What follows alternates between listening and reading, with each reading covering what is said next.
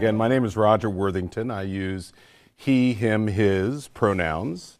And as the executive director of the Center for Diversity and Inclusion in Higher Education, I am honored to help sponsor and to host the ACPA Presidential Symposium at UMD and to welcome you all today.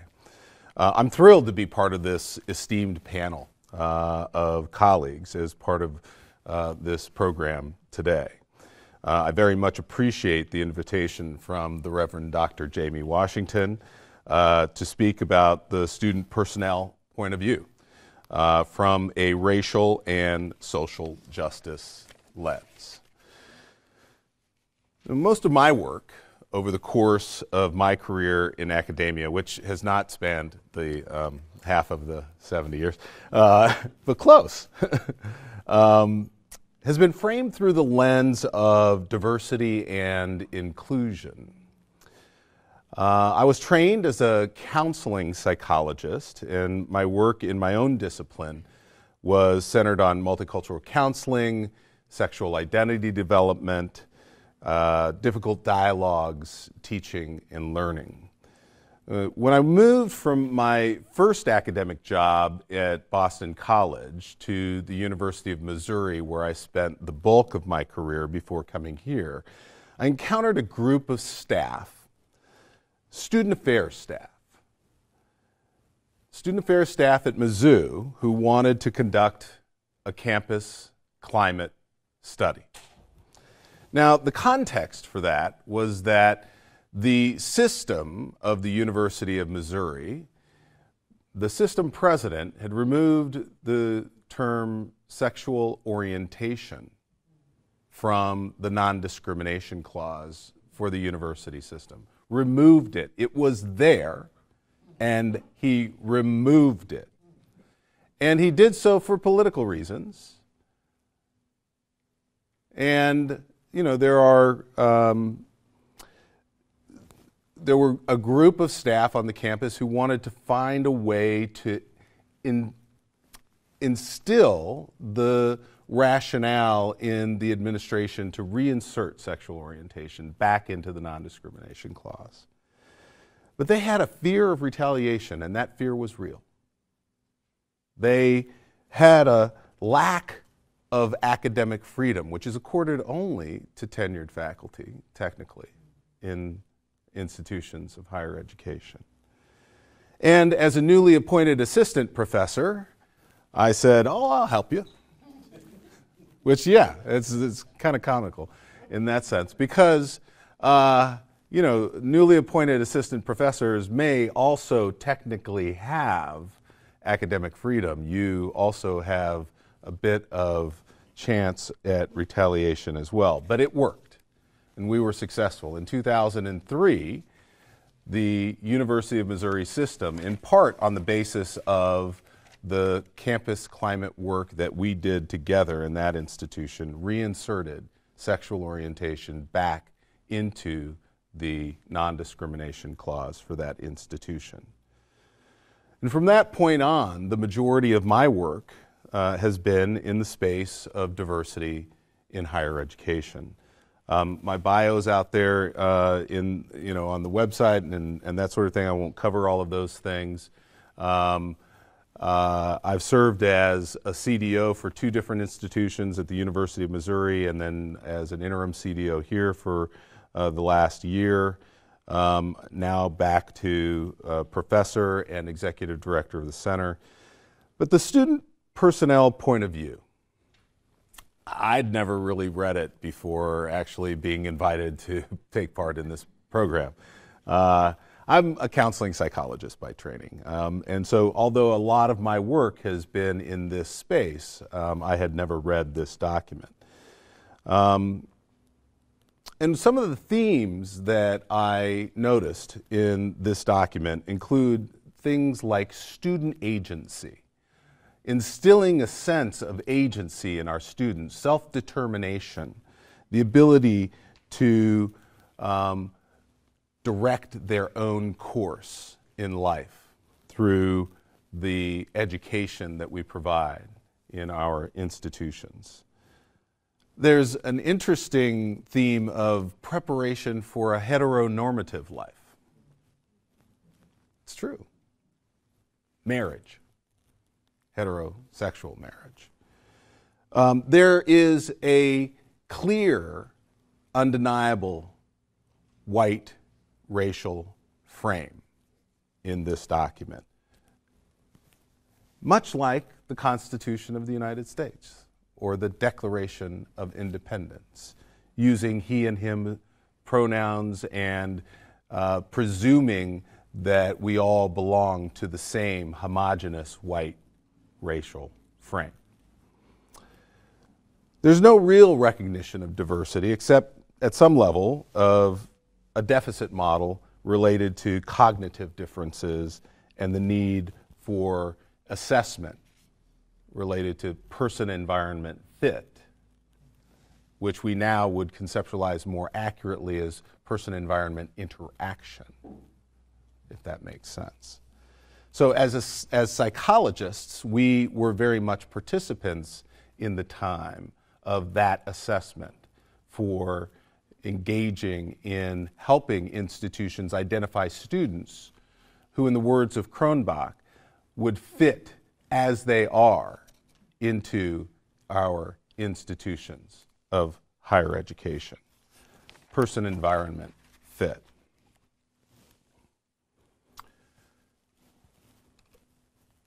So let's talk a little bit about today's day and age. It's the 70th anniversary of the student personnel point of view, and who knew that 70 years ago this document, in some ways, would remain actually very relevant to higher education contexts in the 21st century. In some ways, this document was actually pretty progressive for its time. Yet, here we are in 2019, and who knew we would be confronted with the truly frightening context we live in today? The Anti Defamation League reported just this past year that white supremacist propaganda increased 77% from 17 to 18, targeting 287 campuses in 47 states. Now, this propaganda often includes elements of recruitment, and hate groups seek to inspire vulnerable college students to act out their agenda, much like you would hear on cable news are the tactics of ISIS. These kinds of acts take the form of postings, of flyers, chalkings, graffiti, hate speech, public events, nooses, violence, and even murder. These acts of hate can come from off campus, or they can be perpetuated by members of our own campus communities. In some instances, faculty, faculty are the perpetrators of biased teaching methods, portrayed as originalism teaching the unfiltered, unquestioned, racist works of decades or centuries past. Students oftentimes simply remain silent, even when they know the, the identity of some perpetrators. We have a pervasiveness of bystander apathy on our campuses and in our residence halls and in our classrooms. Campus administrators collude, oftentimes to seek to reduce negative publicity when these acts occur, and campus communities often exist within a shroud of secrecy.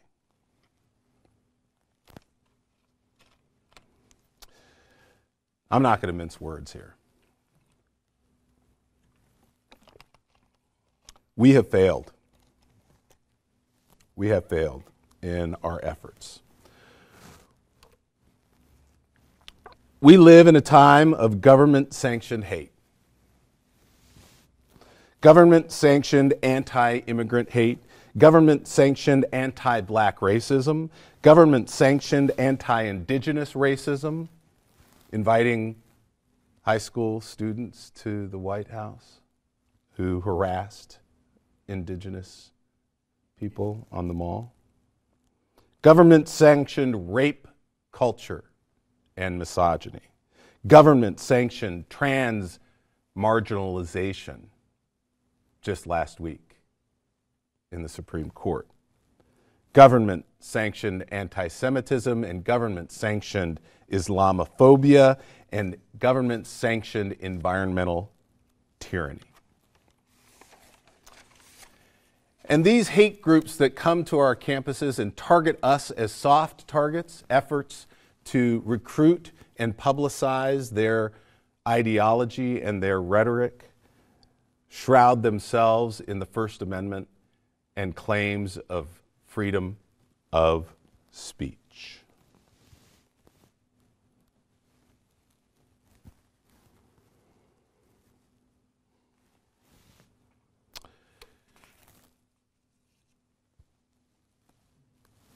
In 2014, there was a mass shooting in my doctoral granting institution, the University of California, Santa Barbara.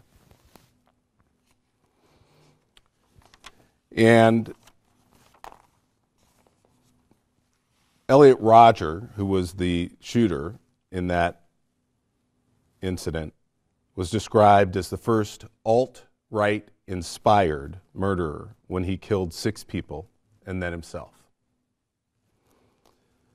Weihan David Wang, Cheng Yuan James Hong, George Chen, Veronika Weiss, Katherine Cooper, Christopher Michaels Martinez.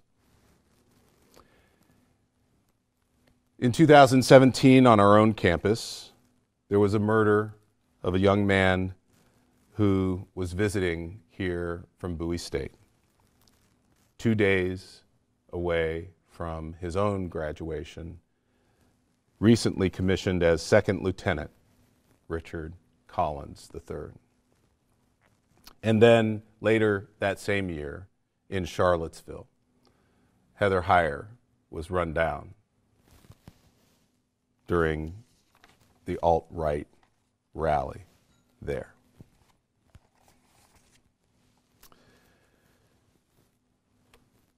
We have significant challenges on our campuses. There is truly a new normal. And campuses in the past couple of years have scrambled to find ways to respond to the targeting of higher education by hate groups with white supremacist propaganda. And what you see here is this policy tension between freedom of speech and expression and academic freedom founded in our institutional missions against the unprotected conduct of incitement, threats, intimidation, and challenges to physical safety. And when institutions across the country in the past two years scrambled to pull together committees to address these challenges, they focused primarily on these issues. For many, the focus was a reflection of inept and tone deaf rhetoric about the fundamental mission of higher education around free speech and academic freedom, with absolutist positions based in legal theories about restrictions on time, place, and manner, incitement, threats, and intimidation, and only in the wake of recent murders, challenges to physical safety. More recently, national higher education associations have drawn the focus back to critical issues of justice, equity, inclusion, non discrimination, and campus climate.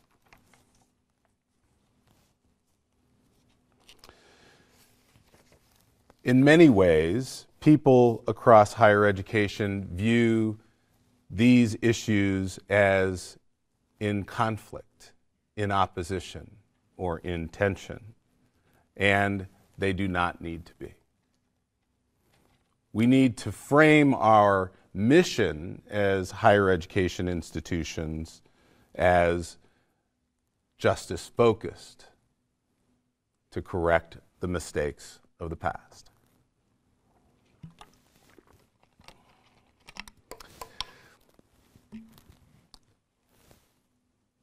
The way to do this is, in my view, through anti racism, which is an active form of transformational institutional change designed to alter the way an institution does business by fundamentally changing long standing policies, procedures, practices, standards that overtly or covertly contribute to and maintain racial hierarchies, inequities, and injustices.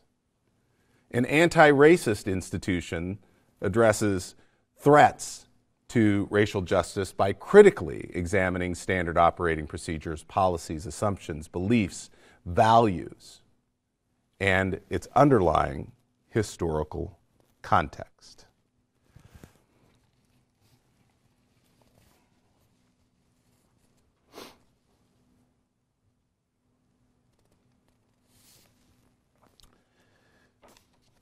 Anti racism is not confined solely to issues on the dimension of race. Instead, the foundational lens of racial justice provides the critical framework from which issues of intersectionality coalesce with marginalizing oppressions based on multiple identities, can be deconstructed and disentangled from institutional organizational structures and policies. It's not easy to do that.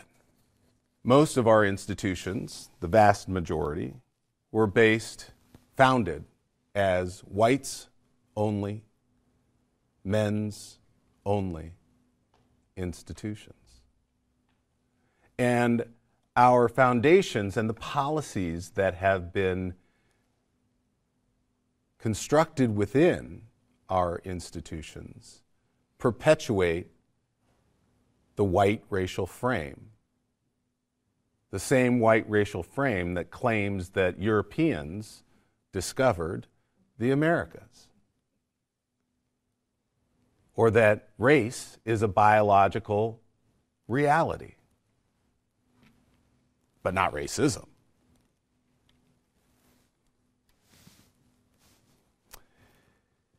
So, becoming an anti racist institution requires each unit of the college or university to clarify its objectives, identify gaps, confront obstacles, and develop strategies for achieving its goals, as well as to monitor and evaluate its progress toward meeting those objectives. Accountability, metrics, data At the very entry level of anti racism work, recruitment of a diverse student body or a diverse faculty or a diverse staff is an oversimplified way of thinking about and understanding the work of diversity and inclusion in higher education. These efforts of recruitment cannot be separated from essential efforts of retention, which brings into focus the critical impacts of campus climate, curriculum and instruction, research and inquiry, intergroup relations and discourse, student, faculty, staff achievement and success, leadership development, non discrimination, institutional advancement, external relations, all of it strategic planning, and accountability.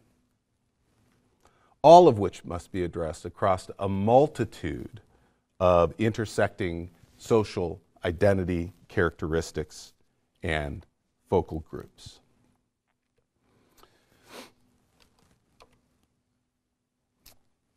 We have to think about anti racism in relation to the concepts that we oftentimes bring to the table when we talk about diversity and inclusion. So often people think being non racist is sufficient. What is the difference between non racist and anti racist? What is the difference between non racist and anti racist? Well, being a non racist is simply just a claim for identity. I don't think of myself as racist. Good enough. End of story. But anti racism requires action. Anti racism requires definitive, forward thinking, progressive action to dismantle injustice in our institutions. So it's not enough to call yourself a non racist and to do this work. It's, it's sort of like saying I'm woke in some ways. I can come to my, the university and say, I'm woke. I understand I know the realities of racism and sexism and homophobia, heteronormativity, transmarginalization. And you can be woke without really being forced to do a thing. So let's do some things. Let's work toward equity, diversity, and inclusion. Sure. Most of the time, as you know, a former CDO, as a as an expert in diversity and inclusion in higher education, people think that I'm going to talk about diversity, that means I can count. And indeed, I can. I have a PhD, I, I can count but I can do more than count. Compositional diversity is not enough. And the frame of our work around compositional diversity holds us back. Inclusion oftentimes brings us to this notion that we are allowing the less privileged people into our institutions. And in the essence of trying to portray inclusion, we exemplify non inclusion in our language and in our actions. Justice is the true path, righting what is wrong, taking our institutions through institutional transformational change. That's the answer and that's where we need to go. Thank you for your time.